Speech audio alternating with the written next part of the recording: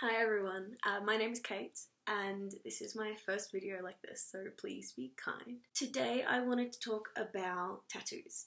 Um, the tattoo that I have, just the one.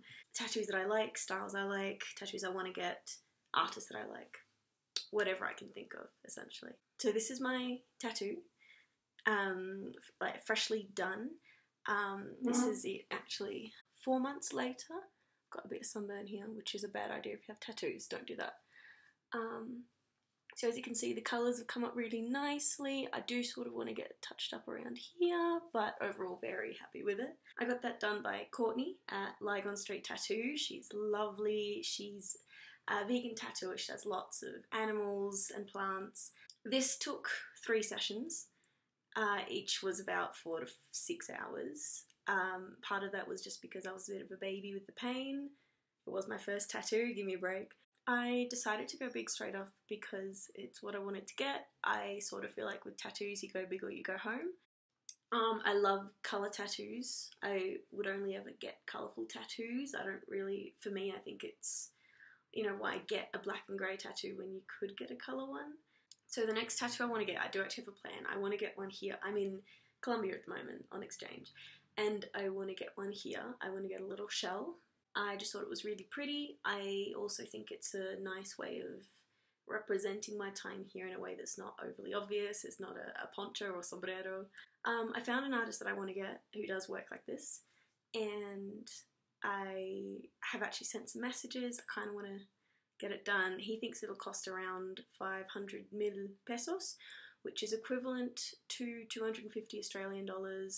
So that's probably like 200 US dollars. You can figure out the rest. Maybe around 15 centimeters and on the side of my ribs, here. Um, for me, with my tattoos, I do have a problem. I want to be a physiotherapist one day. That's what I'm studying for at the moment. And physiotherapy and health degrees in general are not the most liberal pretty conservative, and if I walk into job interviews with tattoos on my arms, I'm not going to get jobs.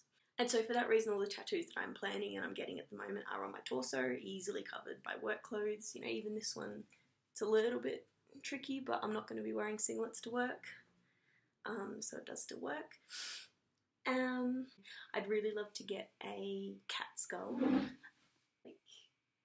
here, like between my shoulder blades. The reason for that is that my family and I have had three cats. We had one cat who was amazing and gorgeous. His name was Charlie, and he got run over when he was four years old, maybe younger, which was really sad and uh, really hard for us as a family. And we immediately got two more cats, so we filled the void, I suppose. Um, we got a brother and sister, Mia and Albie, and that was about uh, four, five years ago.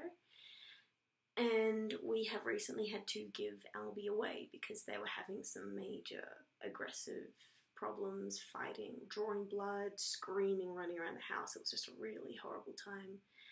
So we found a better house, a better place for Albie. He's now living in a share house with a bunch of 30 year olds and having the time of his life, apparently.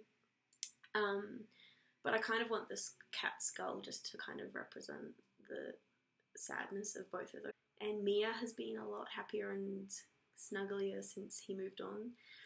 So that's been a really nice happy ending. And I think it would just be a nice uh, tattoo to memorize that, plus skulls, anatomy, botany, nature in general is, I find it amazing. And I think all of my tattoos are going to be that theme. Some of my favourite artists. Okay, who do I love? My dream tattoo is from Feral Cat Box. Um, she's in Chicago.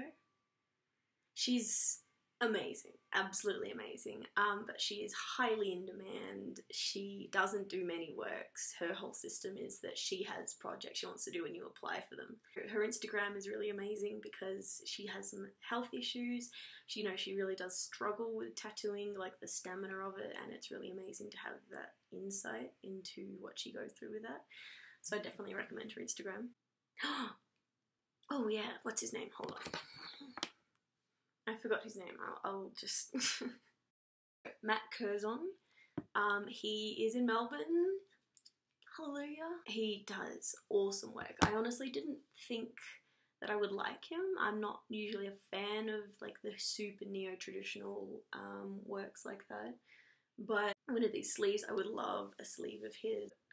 Oh, tattoo story time. When my mum found out about my tattoo. So, my parents are conservative ish in the sense that they are okay with me getting I had a nose ring, they were okay with it. They're okay with me being bisexual ish and they're okay with tattoos ish in the sense that they absolutely acknowledge that it's my life, my life to live and they leave me to it, but it makes them uncomfortable.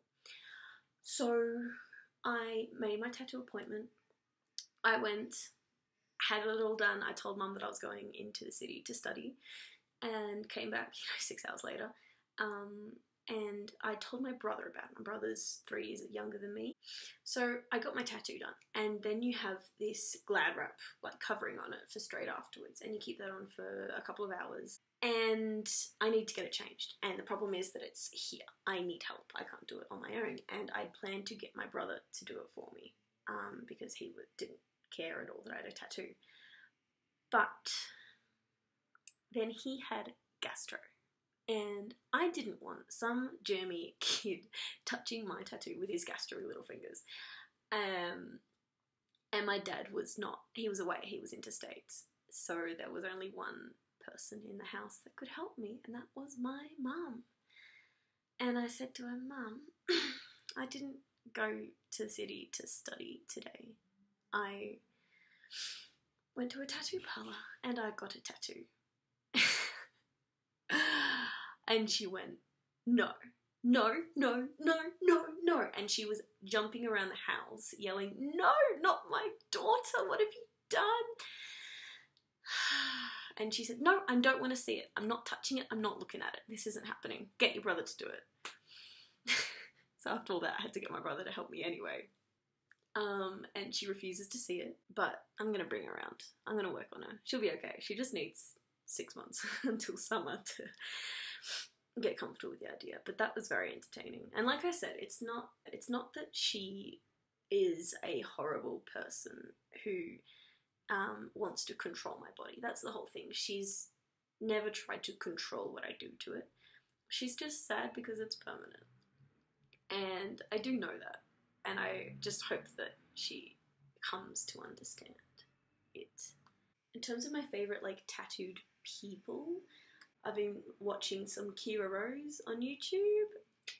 Um, I really love how colourful her tattoos are, the theme of her tattoos, and that they're so cute and old fashioned. So, I hope you guys have enjoyed this. I would love comments, reviews, advice, tips. As I said, this is my first. Please be kind, please be supportive. Thank you for your time. Have a lovely day. Subscribe if you feel like it. And you may or may not see me again. We'll see if this sticks or not. Bye.